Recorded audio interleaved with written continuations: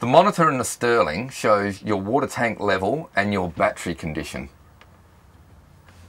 By turning on the pressure pump, that pumps the water up from the tank underneath, put through your shower, hand basin and sink. Okay, now to fill the water tanks.